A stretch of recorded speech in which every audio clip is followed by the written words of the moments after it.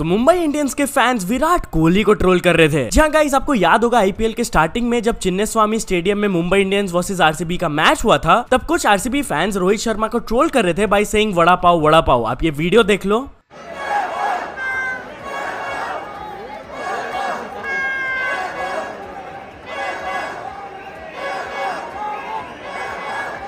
इसके बाद कल वाला मैच जब वांकेडे स्टेडियम में हुआ तब कुछ मुंबई इंडियंस के फैंस विराट कोहली को ट्रोल कर रहे थे आप ये वीडियो में देख सकते हो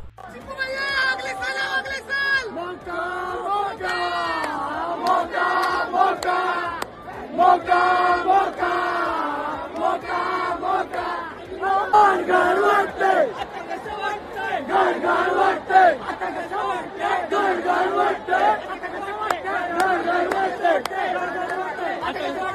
वाटते